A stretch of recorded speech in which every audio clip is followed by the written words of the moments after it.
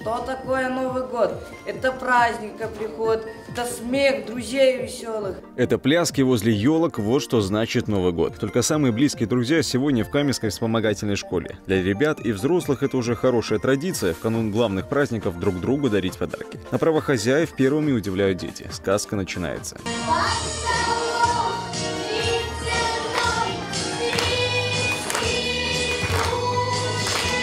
Мотив до боли знакомый. Снежная королева решила, что без Нового года всем будет лучше. Что говорить, холодная женщина. По закону жанра детям вновь предстоит спасти всех и вернуть людям праздник. В бой идет все. Песни, танцы, стихи. Всего и не перечислишь.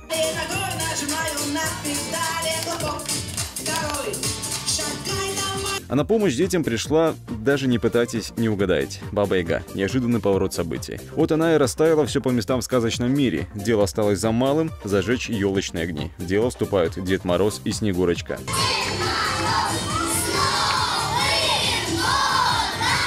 Новый год спасен. Теперь эстафета поздравлений перешла к взрослым. От Бобруйска Громаша сладкие подарки. Без конфет и мандарин у праздника не тот вкус. Плюс финансовая помощь. Нельзя не отметить, а громашевцы и воспитанники родные люди. Уже много лет для предприятия школа подшефная. Я всегда говорю, что любовь спасет мир.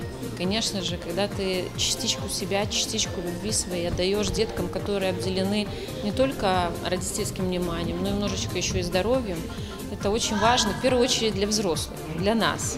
Мы получаем дополнительную эмоцию, мы получаем а, возможность сделаться добрее, нужнее для деток. Ну а детям, конечно, Новый год – они ожидают какого-то чуда. Нашлось место под елкой и корзине добра от красного пищевика. Внутри ее лакомства от фабрики, наполняют которые простые бобручане. В свою очередь, гости тоже не ушли с пустыми руками. Сувениры и хорошее настроение от ребят. Огромное спасибо э, участникам э, в данной акции, потому что, э, как говорится, доброе сердце участников дает возможность обновить как учебно-материальную базу, так и создать условия, современные условия условия для детей. Э, это и кабинеты, это и игрушки, это и книжки, но при этом это, конечно, и сладости. Подарки, конфеты, денежные сертификаты – все здорово, но детям для счастья так мало надо. Внимание взрослых и вера в то, что жизнь полна чудес.